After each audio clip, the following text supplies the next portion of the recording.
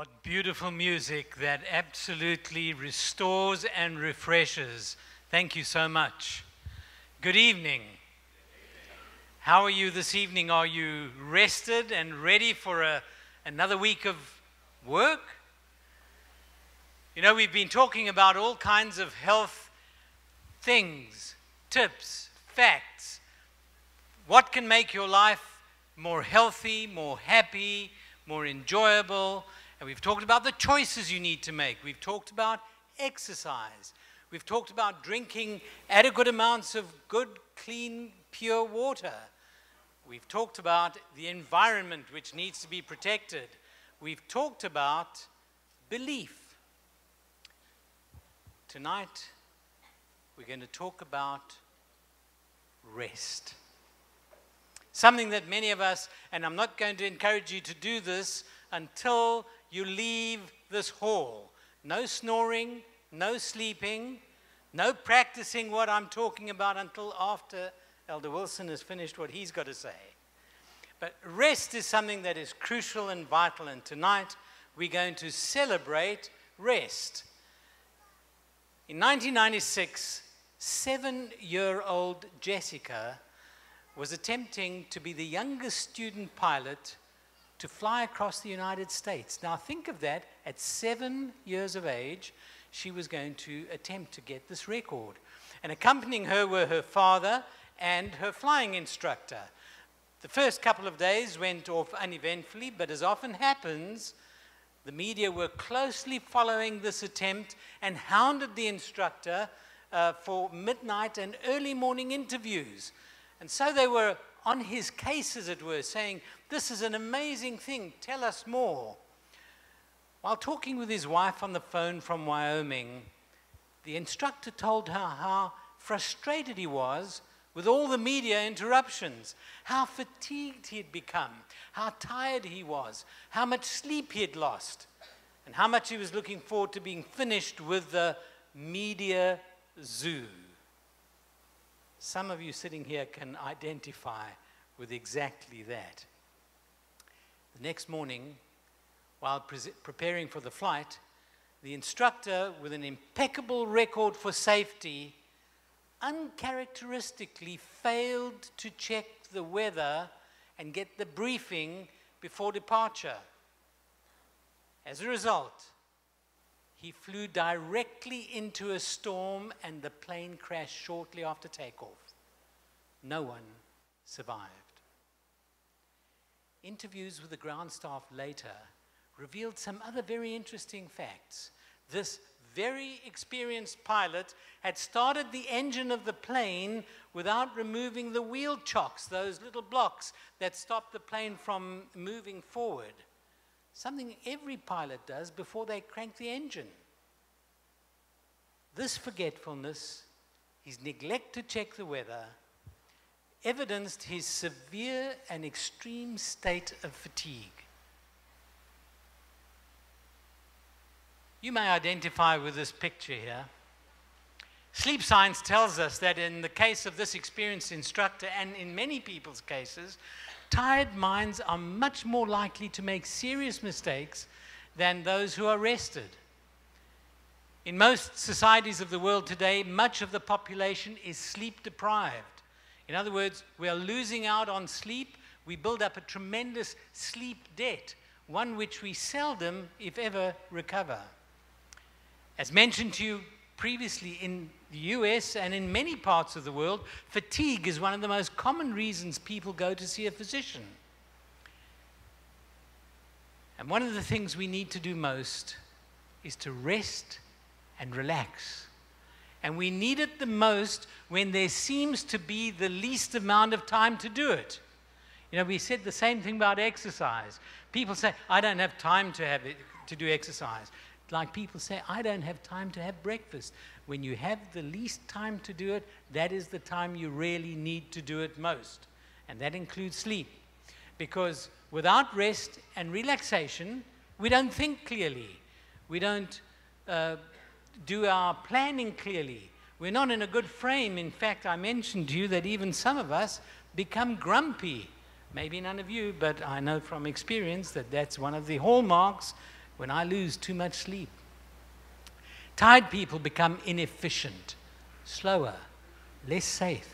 They make more mistakes.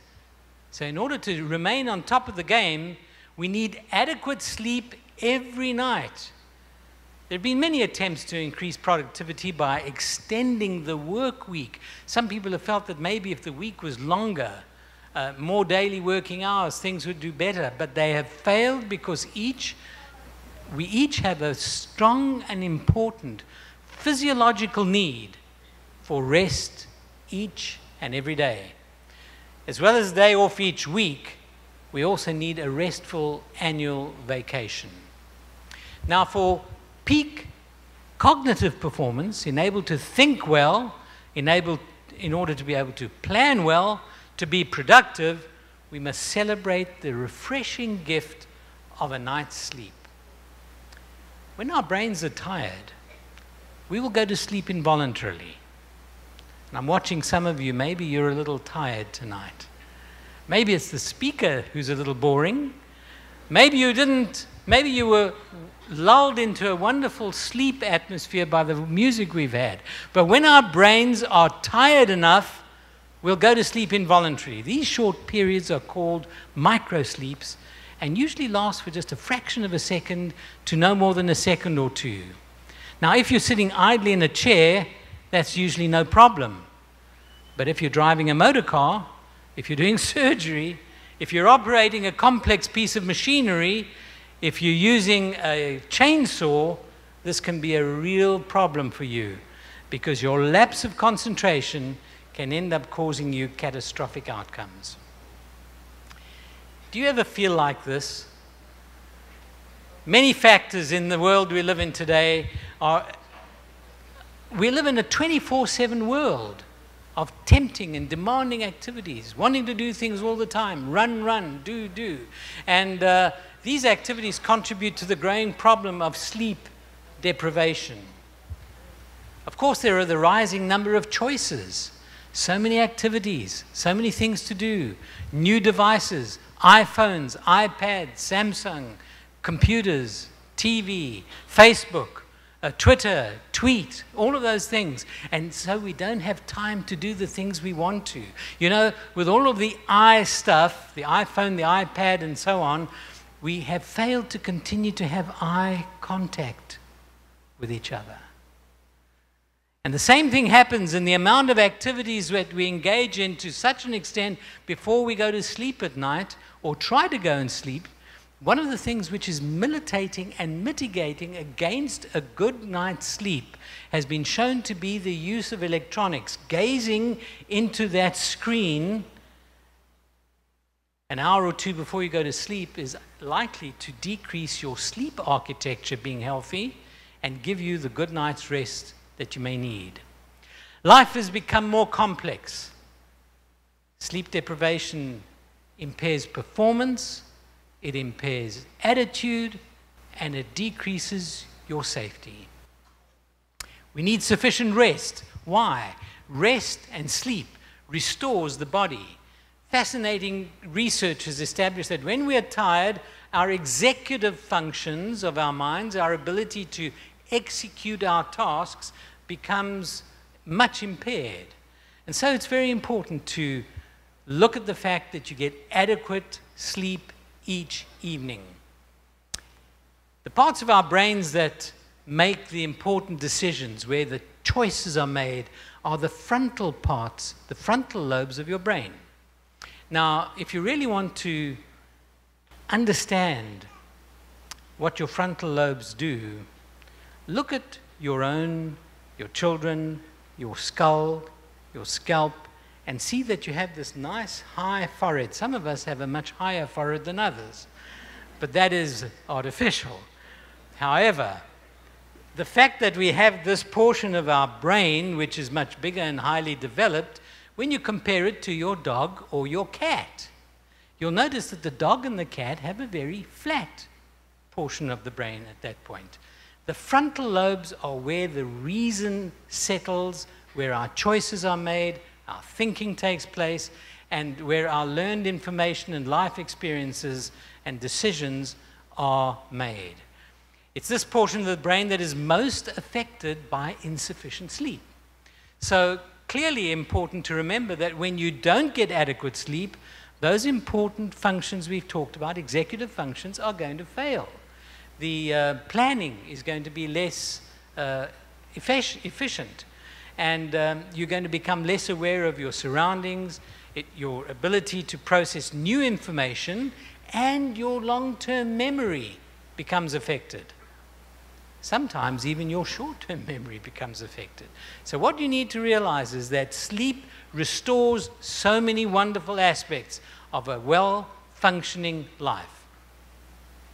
Success in all endeavors is determined by the quality of decisions that we make.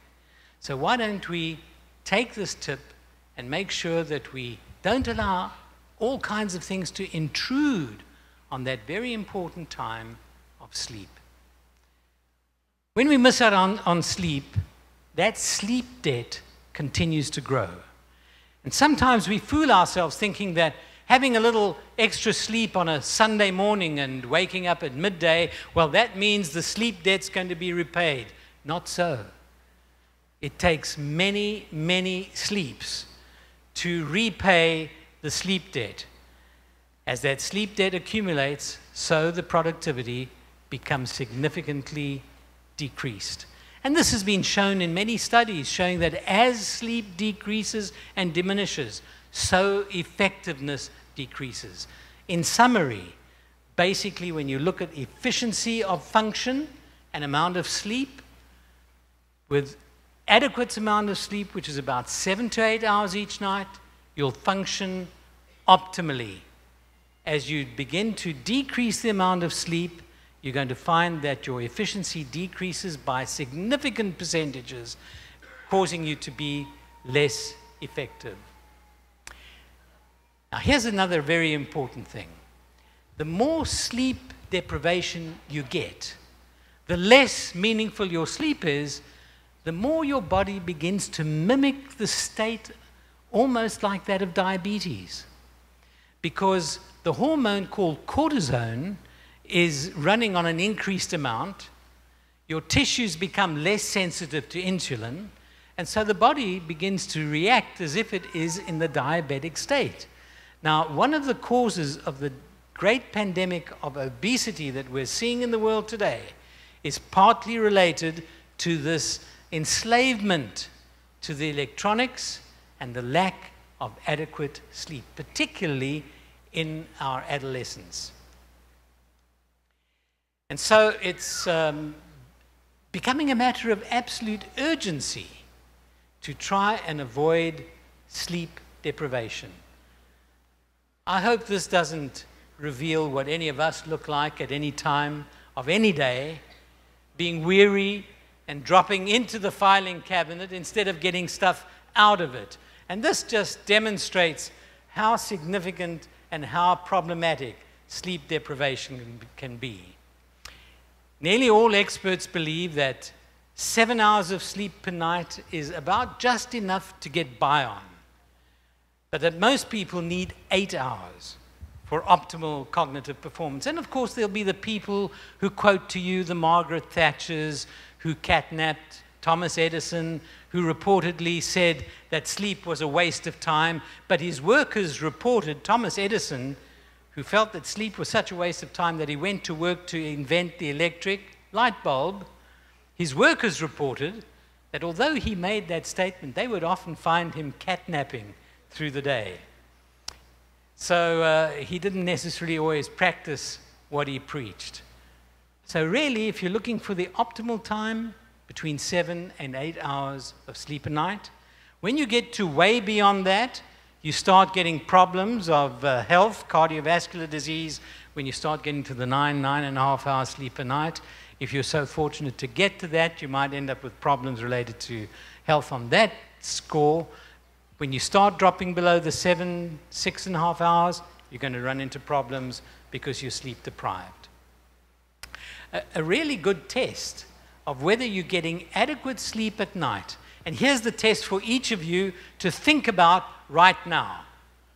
Adequate sleep ensures that you have no daytime sleepiness. Dare I ask how many of you today had no day? Don't put up your hands, it might be embarrassing. No daytime sleepiness. And that when you wake up in the morning, you feel refreshed. That is the sign that you're getting adequate, good quality sleep. So uh, remember that when you get those tests in place and you're going to um, make sure that you're getting adequate sleep, those are the tests. I'll never forget when I was studying Latin in high school, we had the most horrendous examination coming up, and I found myself, I thought, you know what? I'd, I'd done really well in Latin all along, but now I was going to make sure I did even better. And so I stayed up till two, three in the morning. And when I got into the exam that day, it felt like I knew absolutely nothing.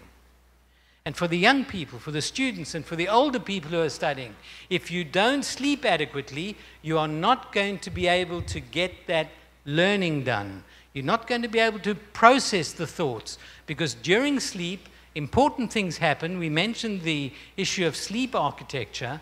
And, and that facilitates the creation of memory, the ability to learn, and it's when the dreams take place. Now, not only is sleep important for uh, all the good cognitive functions of the body, it's very important for restoring the well being, the regrowth of tissues, the restoring of muscles, the restoring and the growth of the body in general. So here we find that sleep plays very, very important roles physically, emotionally, mentally, and spiritually. Sleep, there are two major types of sleep. There's the uh, non rapid eye movement. Don't know if you've watched somebody who moves into the rapid eye movement, but if you watch somebody whose rapid eye movement sleep is taking place, their eyes are moving very fast. You can see this often as you watch dogs and cats as well. You see their eyes moving and they, they start running after things which don't exist. That's the rapid eye movement. During the slow eye movement, uh, there are four stages of that, and in that is a very deep kind of sleep. They measure the waves of sleep in that uh, phase, and that's the time when a lot of the uh, reparative uh, and restoration processes of the body take place, and immunity to infections is uh, increased. Then there's the rapid eye movement, where the eyes are looking from side to side, and you see this often in uh, little children. Some individuals in this process of sleep may sleepwalk. Has anybody here sleepwalked? Is everybody here honest? Many do sleepwalk, and fortunately, not everyone does because that could really be dangerous. But people can sleepwalk, wet the bed, grind their teeth during the stage of rapid eye movement. It's important for mental and emotional restoration as well as organizing the memories. During a good night's rest, both types of sleep recycle right through the night, four to six times over a 90 minute period for each cycle. So that when you wake up in the morning, you're refreshed, you feel well, ready to go with no daytime sleepiness. And then what you have is what we call good sleep architecture, which has allowed your mind and your body to restore and for you to get on and make the good choices, the one of these is regular time for getting up, a regular time for going to bed, decrease your anxiety, and of course, avoid certain uh, medications, avoid the alcohol, avoid tobacco, avoid caffeine. Doing all of that is going to give you a far better sleep. And of course, another very important thing avoid eating just before going to bed bypass the refrigerator, bypass the pantry. Have pure fresh water, not too much, because otherwise you're going to have to get up in the night and get rid of it. But make sure that you avoid that snacking at night because it gives your body the appropriate time to recover and won't keep you out of sleep. What are the steps to getting good sleep? We've, we've covered tonight that it's very important to have sleep. Sleep is restorative to your body, to your mind, to your spirit, and your emotions. So, how do we go about this? One of the things I want to mention to you, and I use this word in the choices. Somebody came up to me the day after the choices and said, You used a specific word. And that word was intentionality. We have to be intentional about what we do. If we do not value sleep, we will not learn to establish the regular bedtime. We won't be doing our regular exercise every day. So, this is another choice we need to make. Firstly, the choice that you value it. Secondly, that you're going to do something about it. Then to set the times and then to exercise. We've talked about that, and you're going to be sick and tired of hearing that. Establish regular times for rising, regular times for uh, retiring, and stick to them every day, even on the weekends. And this is a crucial component. If you want to really have a good and healthy lifestyle, it needs to be one which is punctuated by regularity. Use a comfortable, firm bed in a quiet, cool bedroom, and for most people, the darker, the better. And it shouldn't have TVs, computers, and even exercise equipment, which in most people's homes are used as towel dryers. You know, the treadmill, the bicycle, and you walk into. I, I, was a family practitioner for many years and would go into the bedrooms of many of my patients when they called me out on a house call. And I would see the exercise equipment being used as a clothes horse. They were drying their towels in it, and they, I could see they never exercised on it. So clear the bedroom out, have it clean, don't have TVs in the bedroom, and use it to sleep in. That's what it's for. Eat lightly, avoid watching exciting or depressing TV programs or movies, avoid engaging in arguments. I know nobody in this room would ever do that, but don't argue just before you go to sleep whether it's about the sport or the budget or the children's future or whatever it is. And don't make momentous decisions when you're tired and about to go to bed. If you think that you're not sleeping well and this is a recurring issue, what you need to do is to see your physician and talk about it. I didn't say see your physician and get sleeping pills. But see your physician and see whether or not there's something that needs to be done or to be investigated to help you get a better night's sleep. Put your trust in God. Give Him your cares, your problems, your anxieties. Remember, tonight's sleep builds tomorrow's energy. Sleep is as important as diet and exercise, but here's the real blessing of sleep it's as important as your diet is as important as your exercise, but it's so much easier to do. If I give you the right circumstances, the right bed, the right environment, most of us will sleep well and enjoy it. We just don't often have the time to do it. During the war, World War II, Churchill made the statement, he noticed that people were not productive. They were on this very special um, schedule where they were trying to get more and more done for the war effort. And he then declared that every week there would be one day off and a vacation week or two every year. And it was put into law in the United Kingdom. And um, subsequent to that, studies have been done showing that that was a very, very important step. It was announced before the House of Commons if we are to win this war, it will be by staying power. For this reason, we must have one holiday per week and one week holiday per year. What an outstanding approach, and it's one that paid off huge dividends. We all have our limitations. We can't work around the clock.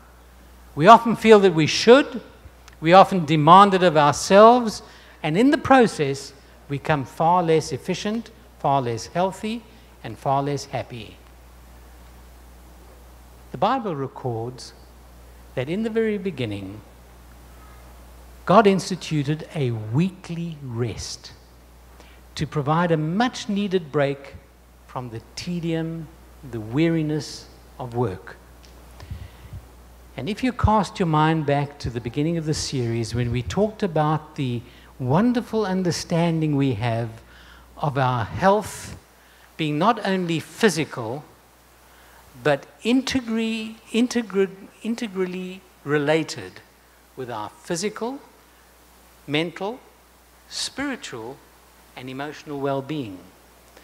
God knew that, created us this way so that we could function the best that we can. He instituted that weekly rest, and that instruction is found in Exodus chapter 20, reminding us that there is a Sabbath day rest. The Lord wants us to fellowship with Him, and He's even given us a day to do it. He also wants us to rest appropriately during the week, sleep at night, do those good things.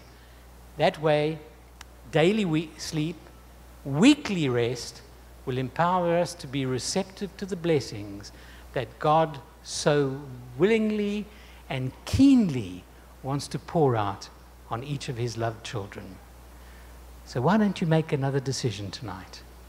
Make the decision to allow sleep to restore your body, your mind, and your spirit and to fit in with the rhythm of creation in contemplating the need not only for a nightly rest, a weekly rest, and a continual rest in Him because He is good and He is faithful. God bless you as you put your choices into practice each day.